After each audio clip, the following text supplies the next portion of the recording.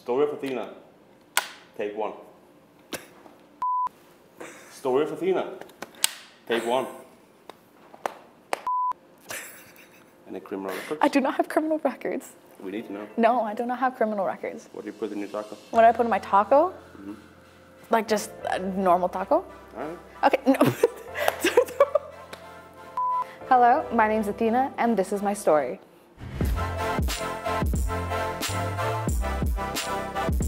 Fun fact, people don't really know this, but Athena isn't actually my name. So kind of awkward, but so I wanted something different. And but I wanted to be recognized as a, a girl. And so I was really thinking about it and I had decided that I wanted something to kind of resonate with the Greek side of me. And I was like, I'm sure there's plenty of Aphrodite, so that's, uh, I'm, I'm sure of that, but I hadn't really heard of any Athenas. And that one really resonated with me, and I just, I thought it would be a perfect username. So, but for those of you who are wondering, my, my, my real name is Alejandra, so I'm half Hispanic as well. Born and raised in Austin, Texas. I have lived there my whole life. Something not many people know about me is I really genuinely like to travel a lot. So I've been, oh, I've, I've traveled to more than 20 different countries. And just throughout my whole life, I've, I, I kind of have this mindset where if I go somewhere once in life, I will never go there again because there's just so many places in the world that I haven't been to and I haven't seen that I really want to get to know and just go and go explore.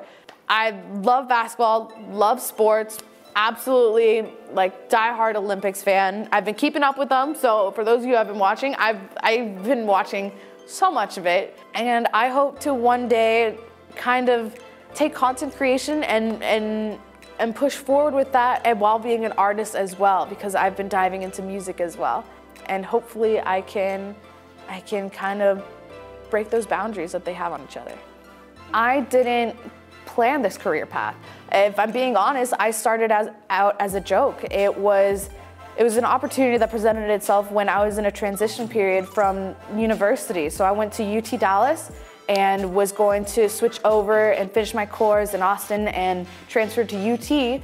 And one of my friends one day was like, hey, you play a lot of video games, you should stream it me, of course, not knowing the whole world of video games and the community on, and Twitch and everything, I was, I, I never opened that door. So when someone told me you'd be perfect for it, I started it as a joke. Someone dared me and I was like, okay, you know what? I'll do this. And little did I know in two weeks, it would completely change my whole world. Because I'm broadcasting? Oh my god, Home just subscribed. Oh my god, you guys! Holy I kid you not. It's I I started started streaming two weeks. I got my very first donation the I want to say a day or two after. I was able to get a face cam, a, a headset, a microphone, and for the longest time I played on a TV monitor. So I I had this this chair where I had a wireless keyboard and mouse I didn't have a proper setup. I balanced a little uh, camera, a webcam on a chair, and every day I would have to adjust it to make sure it looked good. And it, it completely changed my whole life. And it, I was in, I was blown away by the Rocket League community specifically, and just the, the open arms that I, I saw throughout the whole community. It was amazing. For those of you who are watching and you know Rocket League, there is a key figure that has impacted everyone at some point. And his name is Jon Sandman. So he had had given me an opportunity to be on his YouTube channel, and I think that exposure really did change my whole career path. So for those of you watching, you guys know Rizzo as well. He gave us a a platform to succeed, and I genuinely do believe that we owe our careers to him. He has just been such a great figure in this community and really just opened so many doors to us and I'm, I'll be forever thankful for him. At the end of the day, I just want people to know when they, when they watch my stream that it took me a long time to get where I am today and that I hope to, to, like I said earlier, I hope to inspire people that whether they want to pursue content creation in Rocket League, that you can do it because it's a lot of a lot of times people get disheartened by this the atrocities that they get told while being associated online in the internet.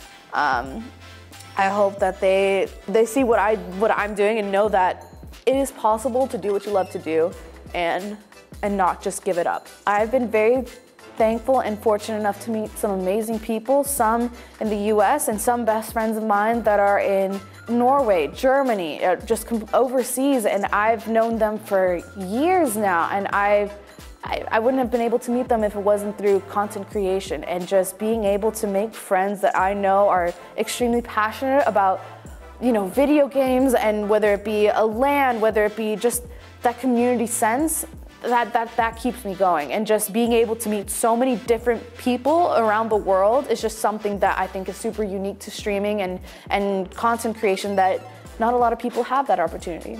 Back in 2017 when Envy first got involved with Rocket League, I was telling the story earlier, but my sister really enjoyed the Rocket League team. And she got a shirt, she asked for a shirt, and uh, she, she's had that Envy shirt for since 2017. And looking back on her now, knowing that that was kind of like my first introduction to Envy, is kind of surreal because when when being a content creator, and in Rocket League specifically, Envy has such a huge legacy. And for those of you who have kept up with Rocket League, they're pretty notable players on it. We're just gonna ignore the fact that one of them has won four times, but Envy is just such a great organization and they're located in Texas, three hours away from Austin. It couldn't have been a more perfect fit. Being a part of this organization and just walking in and seeing I kid you not, the wall of trophies. It's not like it's it's not only like a couple or a handful. There is actually a wall of trophies. If that doesn't make a statement, I don't know what will.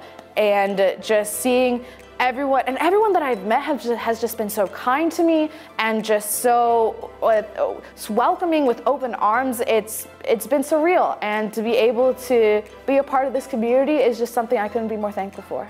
It's so nice to be able to come to the headquarters and just meet everyone, meet the team, and just be more involved with the with the organization. It's just something that is extremely convenient and something that I enjoy a lot. And making content is something that I've done throughout my whole life, and it's something that I'm super passionate about. So I'm excited to explore my options within Envy and just be able to make more content that I know that I will be proud of and that it would be fantastic to do with Envy. It is very clear that Envy has a very uh, has a reputation where they perform exceedingly well, and to be able to stand by a team that not only looks good on paper but is able to perform as a fan that's that's all you could want. And then also on the content creation side being able to to work on content alongside minx and the Botez sisters is absolutely fantastic. And i look up to them very much so. And it's, uh, it's awesome. I, there's just kind of a best of both worlds in this situation for me.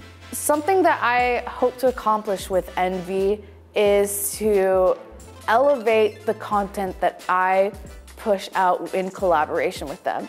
Thankfully, I mean, by the time this video comes out, you guys know that music is something that I was extremely passionate about and I had worked on a song for Rocket League and Envy was able to help out with my with my music video and for that I'll be forever grateful and I think with those opportunities arising and just being able to explore those doors is something that I really look forward to genuinely. I just want to say thank you to Envy for giving me this platform and giving me this opportunity to kind of show the world who I am and to break records and and and boundaries and and glass ceilings and to be able to prove to the world who Athena is and what she can do.